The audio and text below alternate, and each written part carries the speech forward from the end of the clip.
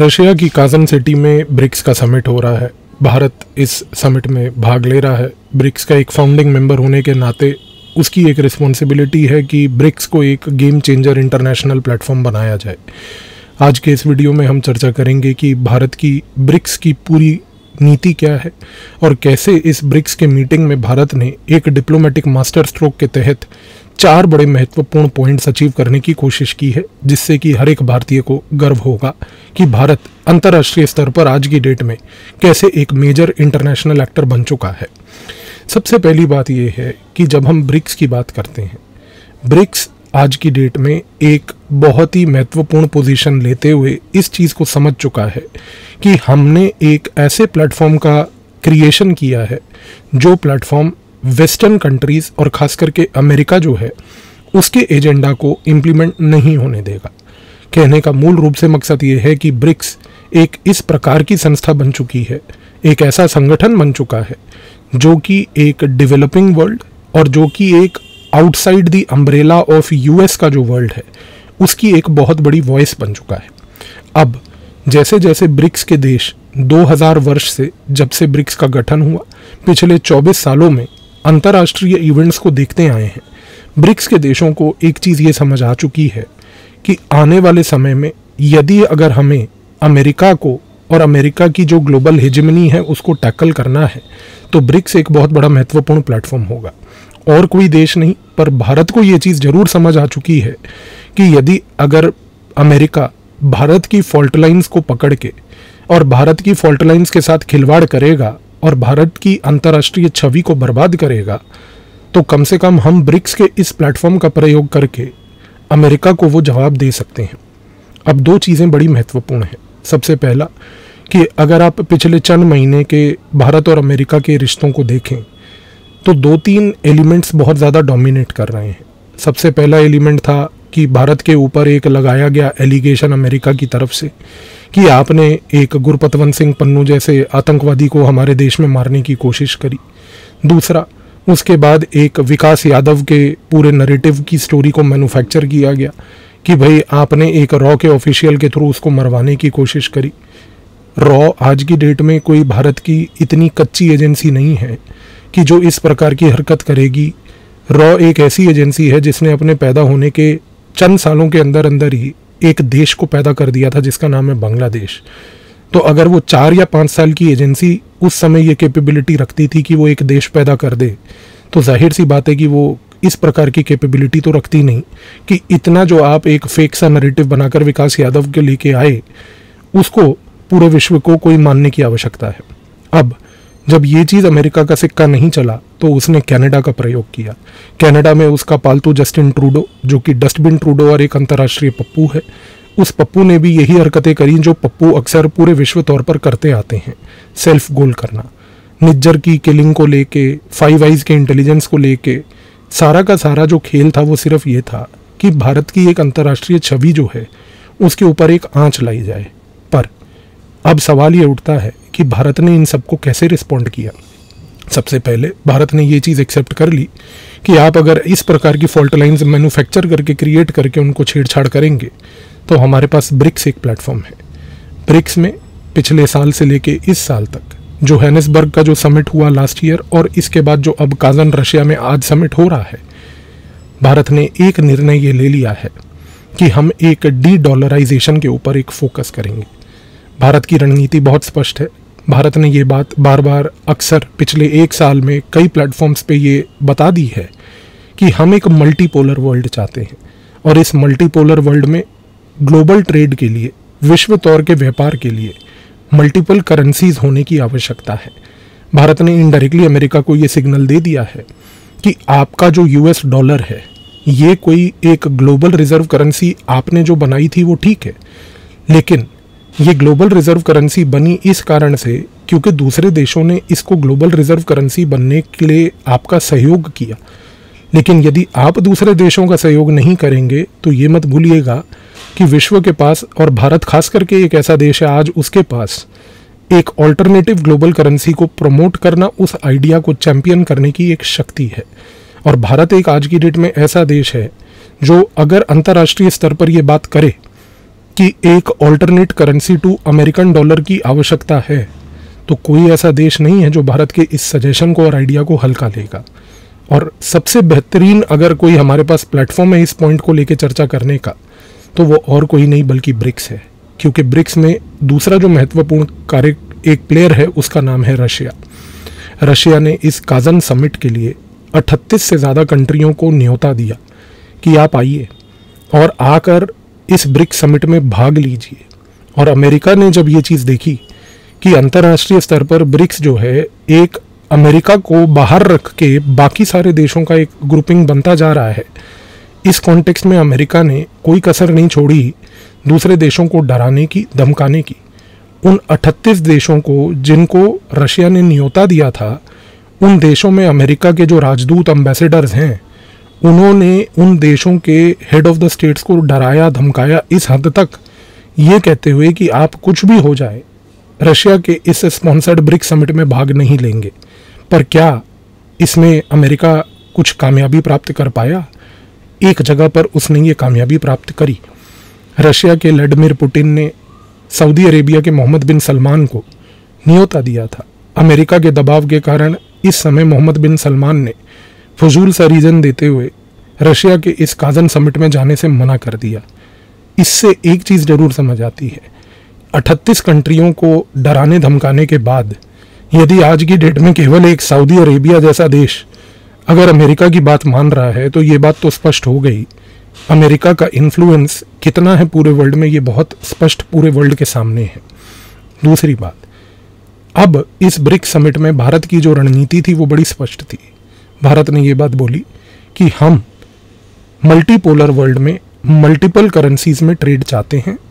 भारत ने ये point put up किया कि चाइना आपके पास आपका युवान है तो भारत के पास अपना रुपया है। और आज ब्रिक्स को एक रिज़र्व करेंसी बनाकर, जो कि जिसके ऊपर चर्चा लास्ट ईयर जो हैनेसबर्ग के साउथ अफ्रीका के समिट में भी हुई थी, उसी चर्चा को आगे बढ़ाते हुए भारत ने यह स्पष्ट कर दिया कि अंतर्राष्ट्रीय स्तर पर यदि आज की डेट में एक ग्लोबल रिज़र्व करेंसी जिसके तहत पेमेंट्स की जाएँ व्यापार की, उसमें भारत का रुपया एक बहुत महत्वपूर्ण तरीके से होना चाहिए। तो ब्रिक्स समिट का सबसे पहला अचीवमेंट भारत की तरफ़ से ये था कि हमने अंतर्राष्ट्रीय स्तर पर ये पॉइंट क्लियर कर दिया कि यूएस डॉलर के सवाए यदि कोई भी कंट्री आज की डेट में एक रिज़र्व बनाना चाहती है तो ध्यान से गौर करके समझने की कोशिश कीजिए कि भारत ने ये कह दिया कि वो एक करेंसी नहीं होगी, बल्कि मल्टीपोलर वर्ल्ड में मल्टीपल करेंसीज होंगी। इससे हमने चाइना को भी एक सबक दे दिया कि चाइना जो आज की डेट में ये बार बार एक ख्वाब रख के बैठा है कि ब्रिक्स को वो डोमिनेट कर रहेगा, इस चीज़ में हमने चाइना को बहुत प्यार से कट कर दिया कि आप अपने युवान को अगर ब्रिक्स के करेंसी रिज़र्व की एक रिज़र्व करेंसी बनाना चाहते हैं तो बनाइए, हमें कोई दिक्कत नहीं। लेकिन ये ज़रूर याद रखिएगा कि साथ साथ रुपया भी बनेगा और रशिया का रूबल भी बनेगा। तो एक चीज़ तो तय है कि अब multipolar world means multipolar currencies ये चीज़ तो स्पष्ट हो गई। दूसरी सबसे बड़ी चीज़, इस ब्रिक समिट में इसी के साइडलाइंस पर भारत ने और रूस ने एक बहुत ही गजब का मास्टर स्ट्रोक खेला है डिप्लोमेटिक लेवल पर, जिसको हम कहते हैं एस्ट्रो डिप्लोमेसी का एक एस्पेक्ट ये क्या है? समझने की कोशिश करते हैं। भारत के प्रधानमंत्री ने जब रूस के काउंटर पार्ट से बात करी तो रूस के काउंटर पार्ट के साथ दोनों देशों ने मिलकर एक बड़ा महत्वपूर्ण स्पेस एक्सप्लोरेशन कंसोर्शियम तैयार किया है। अब ये स्पेस एक्सप्लोरेशन कंसोर्शियम तैयार करने की क्या आवश्यकता है? इससे भारत ने दो लोगों को बहुत स्पष्ट सिग्नल दिए हैं। कौन है वो? पहला है चाइना और दूसरा है अमेरिका। कैसे? स्पेस एक्सप्लोरेशन कंसोर्शियम जो भारत ने और रूस ने मिलकर अभी बनाया है, इसके तहत भारत और रूस एक बड़ी यूनिक नई और पहली बार विश्व में एक ऐसी चीज़ करने जा रहे हैं, जिसके बारे में दूसरे देश अभी तक केवल सोच रहे हैं। और वो ये है कि रूस और भारत मिलकर स्मॉल मॉड्यूलर रिएक्टर्स बनाने जा रहे हैं। और ये स्मॉल मॉड्यूलर रिएक्टर्स जो हैं, इनको चाँद, यानी कि लूनर सरफेस पे चलाया जाएगा। भारत ने और रूस ने निर्णय ये भी लिया है कि ये जो स्मॉल मॉड्यूलर रिएक्टर होगा, ये एक एक्सपेरिमेंटल रिएक्टर होगा। ये केवल पॉइंट पाँच मेगावाट की बिजली को प्रोड्यूस करेगा। ये एक शुरुआती चीज़ है और ये महत्वपूर्ण इस कारण से है क्योंकि आप चीज़ को समझने की कोशिश कीजिए। अभी तक अगर मान लीजिए कि कोई एक ऐसा देश है जो पहली बात तो स्मॉल मॉड्यूलर रिएक्टर में काम कर रहा है, वो है बेसिकली अमेरिका। और अमेरिका के अंदर एक कंपनी है जिसका नाम है ओल्का इंक। अमेरिका की ओल्का इंक जो है, वो अभी स्मॉल मॉड्यूलर रिएक्टर्स बना रही है, उस पर रिसर्च कर रही है। लेकिन फ़र्क देखिए कि अमेरिका की ओल्का इंक का जो स्मॉल मॉड्यूलर रिएक्टर है, वो केवल और केवल अभी डेढ़ मेगावाट पर ही पहुँच पाया है और वो केवल डेढ़ मेगावाट तक के ही स्मॉल मॉड्यूलर रिएक्टर को कंसेप्चुअलाइज कर पाया है। इसी चीज़ को भारत ने और रूस ने मिलकर तोड़ने की कोशिश की है। कैसे?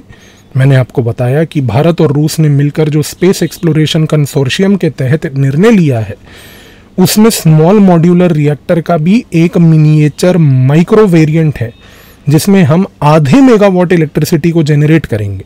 अब आप कहेंगे कि डेढ़ मेगावाट तो ज़्यादा है, आधा मेगावाट तो कम है तो इसमें तो अमेरिका को फ़ायदा हुआ और भारत और रूस को नहीं हुआ। आप गलत हैं अपने सोच में, क्योंकि अगर एक माइक्रो स्मॉल मॉड्यूलर रिएक्टर एक रियलिटी बन जाता है और चाँद के सरफेस पे एक एक्सपेरिमेंटल रिएक्टर रख दिया जाता है तो आने वाले समय में ये एक नया इनोवेशन होगा साइंस एंड टेक्नोलॉजी में, जिसको पहली बात तो भारत और रूस चैंपियन कर पाएँगे। दूसरी बात इस पर्टिकुलर अग्रीमेंट के तहत भारत और रूस ने अमेरिका को एक ब्रिक्स समिट के थ्रू अपफ्रंट चैलेंज दिया है। यदि अमेरिका अभी गुरपतवंत सिंह पन्नू, विकास यादव और कनाडा के डस्टबिन ट्रूडो अंतर्राष्ट्रीय पप्पू को लेकर अगर अभी तक नहीं सुधर पा रही है तो उसको ये चीज़ समझ जानी चाहिए कि आप इन छोटे छोटे चीज़ों को ही लेके बैठे रहिए।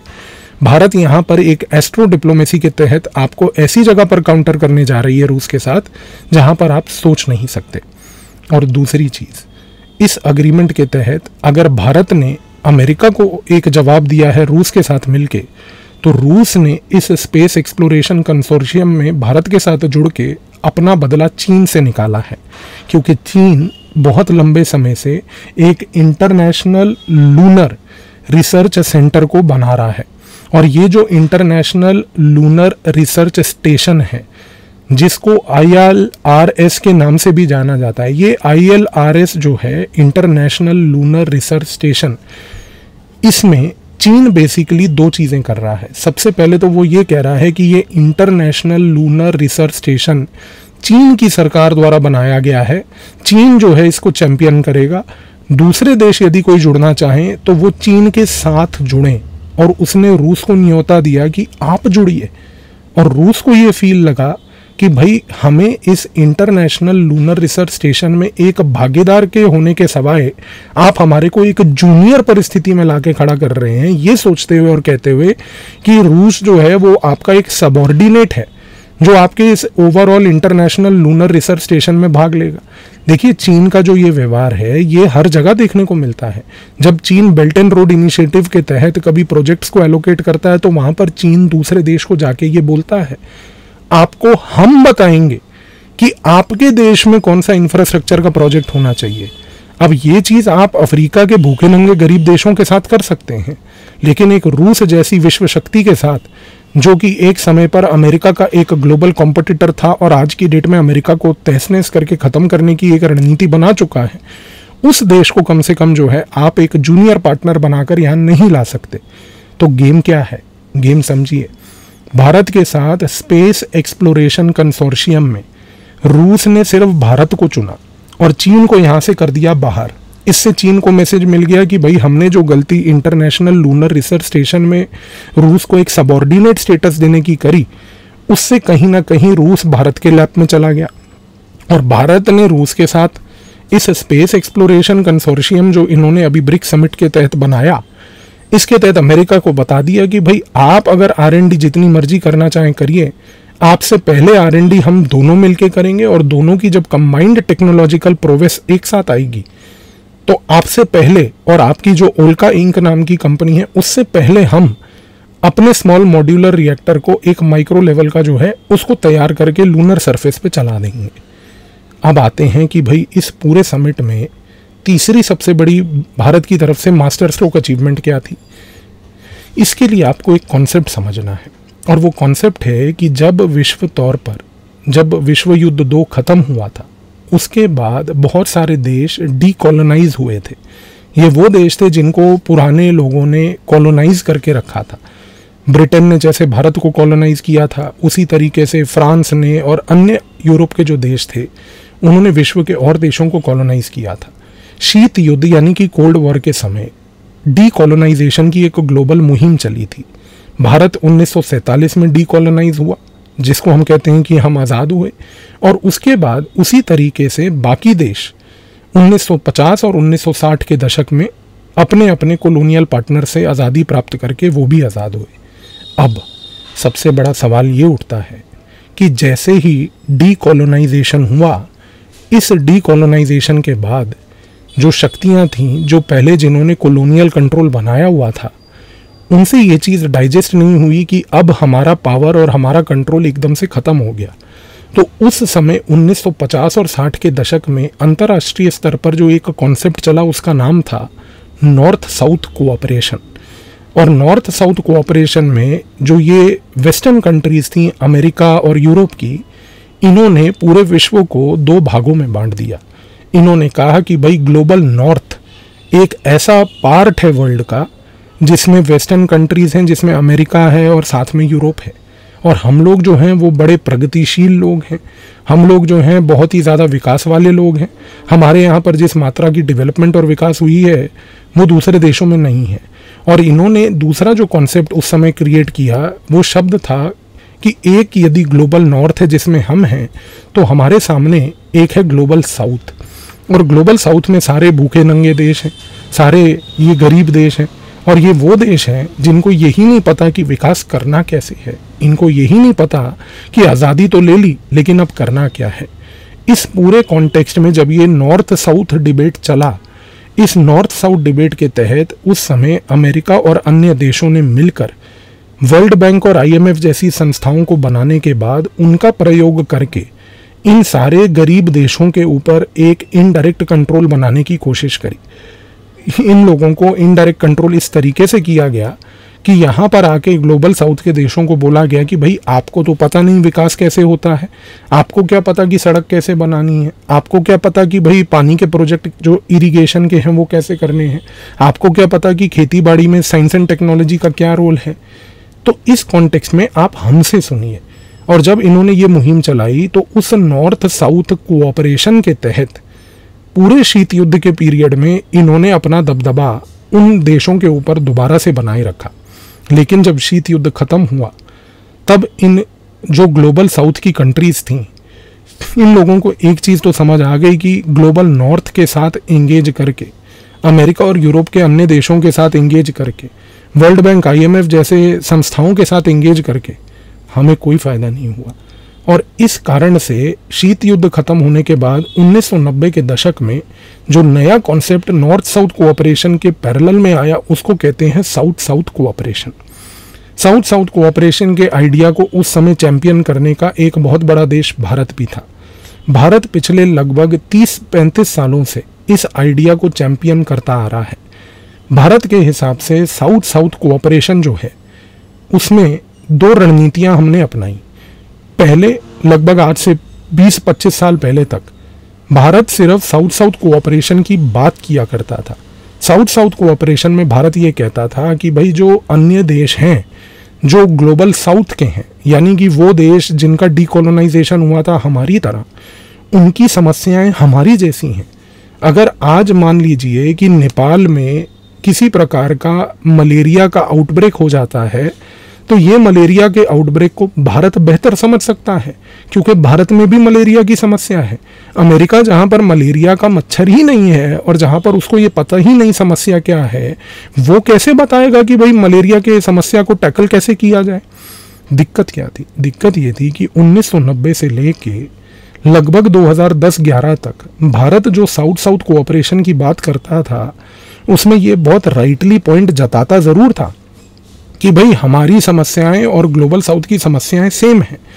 पर सवाए इसको थ्योरी के लेवल पर बोल के और आर्टिकल किताबों में लिख के और न्यूज़पेपर में छाप के भारत की विदेश नीति में ये पॉइंट जमा नहीं था।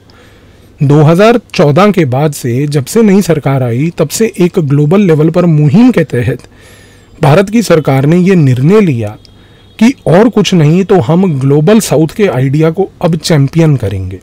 और भारत की सरकार ने पिछले दस, साढ़े दस सालों में एक नीति ये भी बनाई कि भारत अब सिर्फ़ ग्लोबल साउथ के आइडिया को और साउथ साउथ कोऑपरेशन के आइडिया को बोलेगा नहीं, बल्कि इसको हर जगह एम्फोसाइज करके समझाएगा और जहाँ तक हो पाए इसके लिए प्रोजेक्ट्स बनाएगा, जिसके तहत भारत ये एक पॉइंट क्रिएट कर पाए कि हम सिर्फ़ ग्लोबल साउथ और साउथ साउथ कोऑपरेशन के आइडिया को बोलते नहीं, अमल भी करते हैं।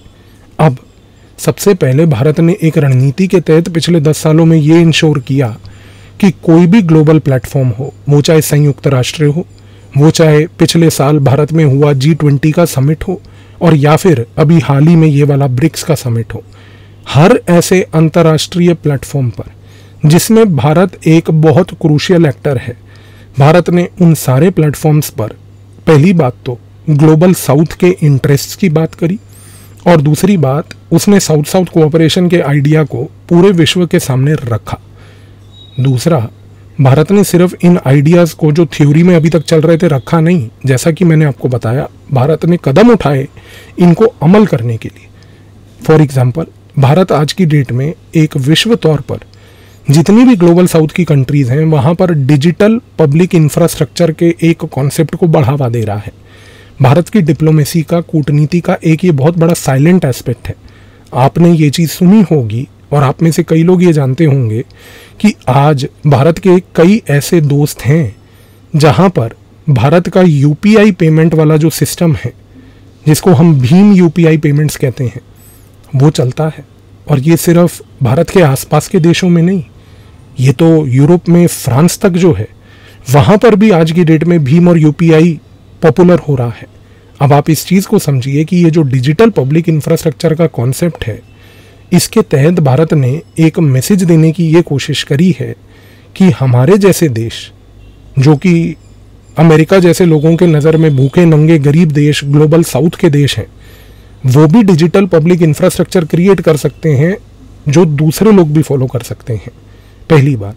इसी तरीके से भारत ने एक coalition for disaster resilience infrastructure है। इसको ग्लोबल लेवल पर चैंपियन किया और इसको भी अभी हाल ही के ब्रिक्स समिट में डिजिटल पब्लिक इंफ्रास्ट्रक्चर के साथ दोबारा ये शब्द को बोला। और तीसरा, भारत ने इस ब्रिक्स समिट में फिर से पूरे विश्व के सामने एक और बार इंटरनेशनल सोलर अलायंस की बात करी और ये बात बताई कि ये जो इंटरनेशनल सोलर अलायंस है, इसके तहत भी जो ग्लोबल साउथ है, वो आज की डेट में क्लीन एनर्जी और क्लाइमेट चेंज के डिबेट में एक बहुत बड़ा क्रेडिबल भागीदार बन सकता है। खास करके तब जब ग्लोबल नॉर्थ की कंट्रीज़ जो हैं, वो अपने ऊपर प्रदूषण को कट करने के किसी भी प्रकार के लीगली बाइंडिंग टारगेट को लेने से संकोच कर रही हैं।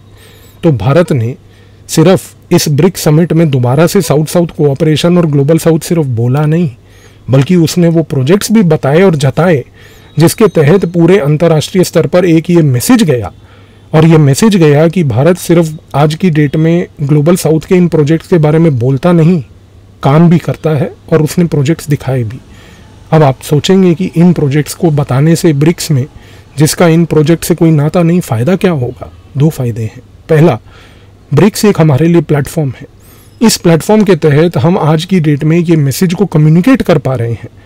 दूसरे लोगों के तहत और ख़ास करके एक अंतर्राष्ट्रीय ऑडियंस को, और वो भी वेस्टर्न ऑडियंस को जो ब्रिक्स को देख के बड़ी नेगेटिव ओपिनियन बना के बैठा है, क्योंकि वेस्टर्न कंट्रीज़ जो हैं ब्रिक्स का भाग नहीं है। जब ब्रिक्स का एनालिसिस वहाँ पर किया जाएगा, उनकी मीडिया में तो वहाँ पर बताया जाएगा कि भारत की तरफ़ से ये चीज़ें बोली गई थी।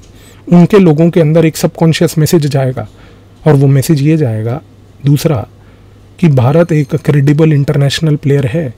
भारत की तरफ़ से इस चीज़ के बारे में बात करने से भारत का ओवरऑल जो क्रेडेंशियल है, संयुक्त राष्ट्र के सिक्योरिटी काउंसिल में एक परमानेंट मेंबरशिप सीट के लिए वो स्ट्रेंथन होता है।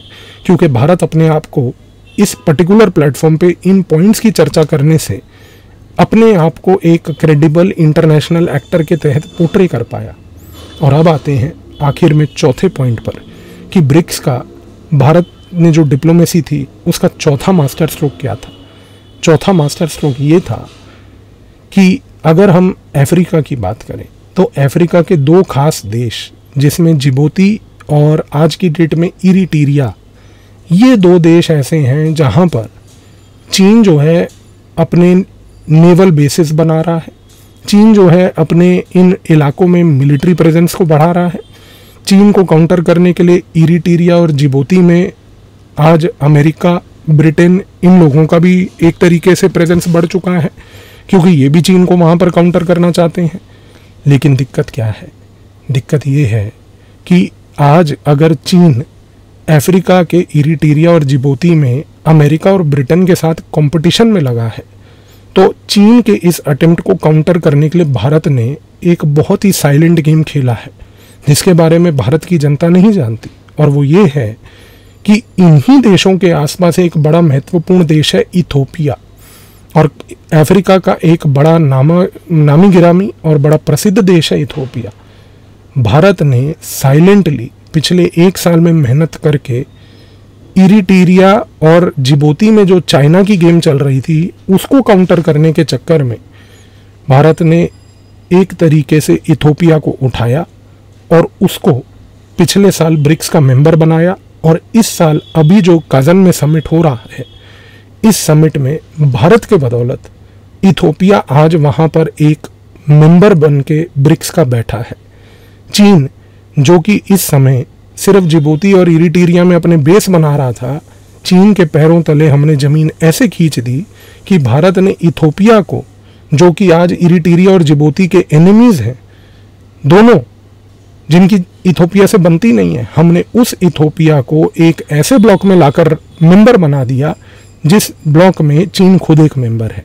अब आप सोच के देखिए कि जो चीन ने चाल चली थी चंद साल पहले, कि एससीओ, जो कि शंघाई कोऑपरेशन ऑर्गेनाइजेशन है, वहाँ पर जब वो भारत के साथ साथ पाकिस्तान को लेके आया था, आज हमने वही मज़ा जो है चीन को चकाया, कि हमने इरिटीरिया को वहाँ बिठाया और वो भी तब जब ना तो सॉरी इथोपिया को वहाँ बिठाया तब, वो भी तब, जब इरिटीरिया और जिबोती जो है, जब चीन उन दोनों के साथ लगा हुआ है, और चीन इथोपिया के साथ उस लेवल का इंगेजमेंट नहीं करता, जो भारत करता है। और ज़ाहिर सी बात है कि इथोपिया के आने के बाद चीन को एक बहुत ज़बरदस्त लेवल पर इरिटेशन हुई, और इरिटेशन ये हुई कि भाई, ऐसे देश को आप क्यों मेंबर बना के ले आए, जिससे ना तो मेरा कोई नाता है? और सबसे बड़ी बात ये वो देश हैं जिन देशों के साथ जिनके मैं इंगेज कर रहा हूँ, उसके खास एडवर्सरी एनिमी और वैरी हैं। तो भारत की इस गेम के तहत ये चीज़ तो प्रूव हो गई कि चीन को बहुत सारे सबक मिल गए। तो अंत में कहना ये गलत नहीं होगा कि ब्रिक्स का जो ये समिट हुआ, ये भारत के पॉइंट ऑफ़ व्यू से और भारत की एक अंतर्राष्ट्रीय की छवि के पॉइंट ऑफ़ व्यू से, अमेरिका से लेकर चीन तक, हर एक भारत के उस वैरी को एक बहुत बड़ा मैसेज है कि या तो आप एक अंतर्राष्ट्रीय स्तर पर न्यूट्रल इमेज रखिए और अगर आप भारत की छवि खराब करेंगे तो भारत आपके जैसी छिछोरी हरकतें नहीं करेगा, जो अमेरिका या चीन करता है। हम अपने डिप्लोमेटिक मास्टर स्ट्रोक्स करेंगे, जो इस पूरे वीडियो में हमने चर्चा करी, जिसके तहत भारत अपनी पोजीशन को बहुत स्पष्ट और क्लियर तरीके से पूरे विश्व के सामने पेश कर चुका है। आई होप इस वीडियो के बाद ब्रिक्स का समिट और ब्रिक्स समिट में भारत की जो पूरी की पूरी कूटनीति थी, वो अब आपको क्लियर हो गई। धन्यवाद।